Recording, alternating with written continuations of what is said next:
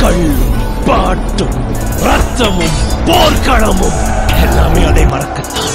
அவளை மறக்க மறக்கத்தான் என்னை மறக்கத்தான்.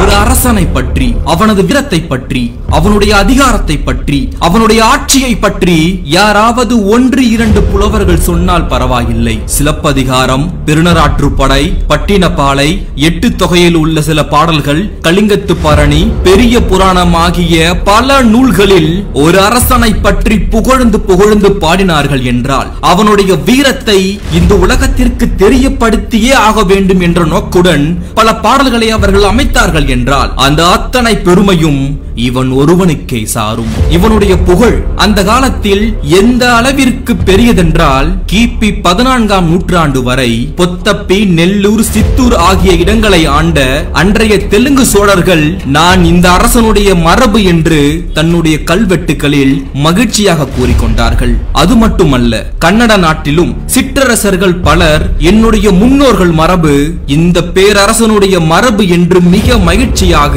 அவர்களுடைய கல்வெட்டுகளிலும் அவர்கள் பதிவு செய்து வைத்திருக்கிறார்கள். பிற்கால சோழராகிய விஜயலாயன் மரபினரும் தன் செப்பு பட்டயங்களிலும் கல்வெட்டுகளிலும் இந்த ஒரு பேரரசரை மகிழ்ந்து மகிழ்ந்து அவர்கள் கொண்டாடி இருக்கிறார்கள் இவ்வாறு பல புலவர்கள் பல பாடல்களின் வழியாகவும் பல நாட்டு அரசர்கள் இந்த அரசனின் மரபுதான். எங்கள் மரபு என்று மகிழ்ச்சியாக சொல்லிக் கொண்டதும் இந்த ஒரு மாவீரனுக்காகத்தான். தன்னுடைய வீர செயல்களால் தன்னுடைய பெருந்திறமையால் தன்னுடைய மதிநுட்பத்தால் ஒரு சிறு அரசாக இருந்த சோழ அரசை மாபெரும் சோழ பேரரசாக நிலைநாட்டிய ஒரு அரசன்.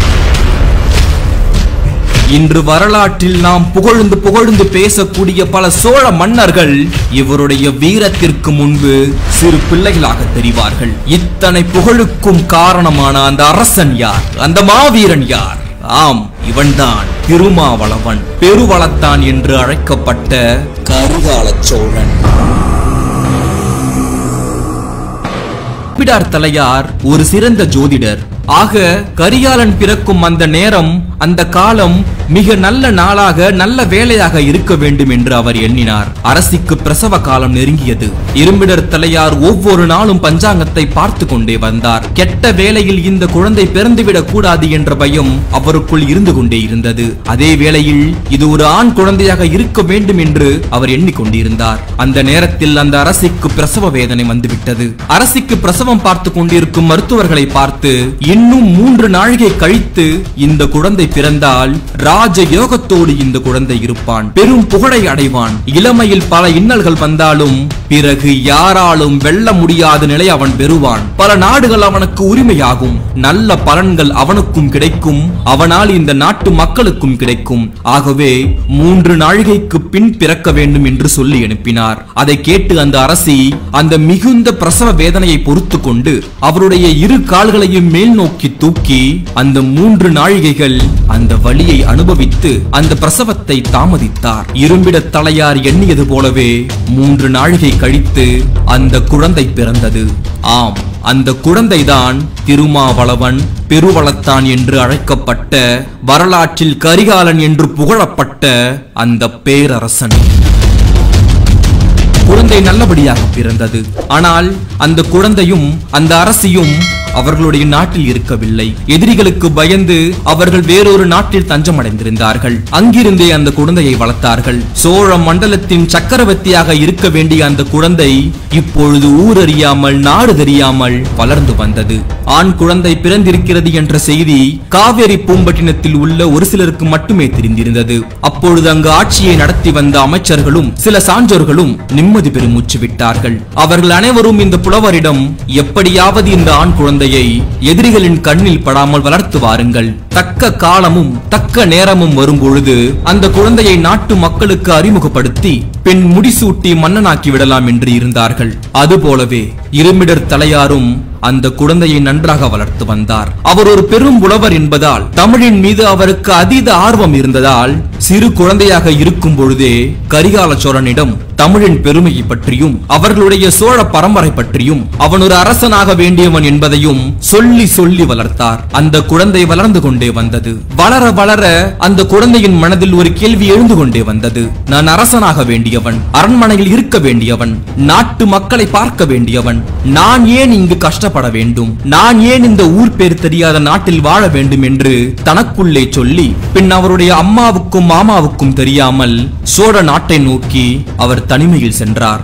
அதே சமயத்தில் இளஞ்செட் சென்னிக்கு ஒரு மகன் பிறந்திருக்கிறான் என்றும் அவன் ரகசியமாக வளர்க்கப்படுகிறான் என்றும் எதிரிகளுக்கு தெரிந்திருந்த நேரத்தில் அந்த குழந்தையை அவர்களும் தேடிக்கொண்டிருந்தார்கள். அந்த சமயத்தில் தான் வளர்ந்து வந்த கரிகாலன் வீட்டை விட்டு வெளியேறி சோழ நாட்டுக்குள் புக நினைத்தான். அப்பொழுது அந்த எதிரிகளின் கையில் மாட்டிக்கொண்டான் வெளியே சென்று மீண்டும் வீட்டுக்கு வந்த இருமிடர் தலையார் குழந்தை காணாமல் போன செய்தியை கேட்டு காடு மேடெல்லாம் அலைந்து தேட ஆரம்பித்தார். அப்படி அவர் காடு காடாக தேடிக் கொண்டிருக்கும் பொழுது தூரத்தில் ஒரு குடிசை எரிந்து கொண்டிருந்தது. அந்த குடிசையின் உள்ளிருந்து ஒரு சிறுவனின் குரல் கேட்டுக் கொண்டிருந்தது அம்மா என்றும் மாமா என்றும் அந்த சிறுவன் கத்திக் கொண்டிருந்தான். பிறகு அங்கு சென்று பார்த்த இரும்பிடர் தலையார் ஒரு வழியாக புரிந்து கொண்டார். உள்ளே இருப்பது இளவரசன் தான் என்று. எரிந்து கொண்டிருந்த அந்த குடிசையில் இருந்து இளவரசனும் இந்த மாமாவை பார்த்து கொண்டிருந்தார். எரியும் அந்த நெருப்பை கடந்து எப்படியாவது தப்பிக்க வேண்டும் என்ற எண்ணத்துடன் நெருப்பை மெதித்து ஓடி வந்தது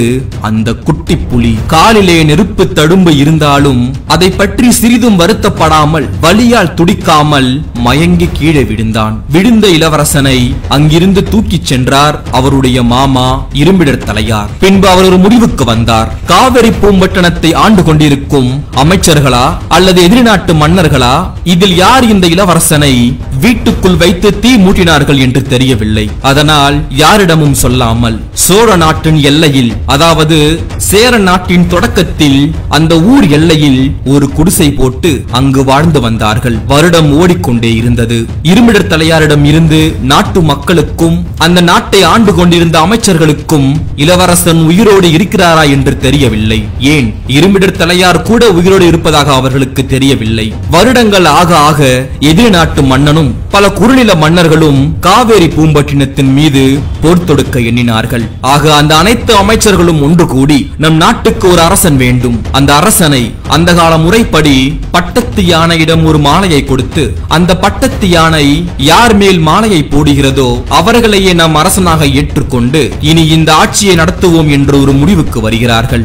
அதன்படியே செய்ய ஆரம்பித்தார்கள். அந்த பட்டத்து யானை அரண்மனையில் இல்லை. ஏனென்றால் அரண்மனையில் அரசர் இல்லை. எனவே ஒரு கோவில் அருகே இருக்கும் குளத்தில் அந்த பட்டத்து யானையை கட்டி வைத்திருந்தார்கள். அதனிடம் சென்று ஒரு மாலையை கொடுத்து பின் அந்த யானையை அவிழ்த்து விட்டார்கள். பல நாள் கட்டப்பட்டிருந்த அந்த பட்டத்து யானை தன்னுடைய விலங்கு அவிழ்க்கப்பட்டதும் அந்த மாலையை எடுத்துக்கொண்டு ஓட ஆரம்பித்தது.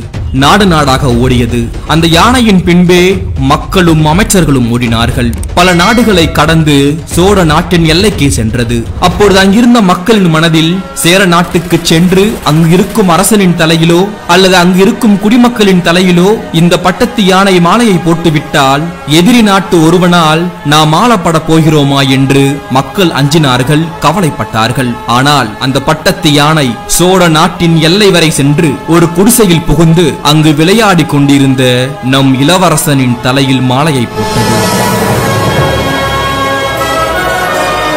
இந்த சம்பவத்தை எல்லாம் இருமிழர் தலையாரும் பார்த்து கொண்டிருந்தார். அவருக்கு ஒன்றும் விளங்கவில்லை. முதலில் பயப்பட்டார் பிறகு தெளிந்தார். அந்த இறைவன் எதை செய்ய வேண்டுமோ அதை அந்த பட்டத்து யானையின் வழியாக செய்துவிட்டான் என்று அவர் எண்ணினார். கரிகாலன் காவிரி பூம்பட்டினத்தை அடைந்தான். யார் கண்ணிலும் படாமலும் பகைவருடைய வஞ்சக செயலுக்கு தப்பி உயிர் பிழைத்து வாழ்ந்திருந்த அவனை அந்த இறைவனின் அருளால் பட்டத்து யானையின் வழியாக இவனே சோழகுல தோன்றல் என அறிவித்து விட்டது.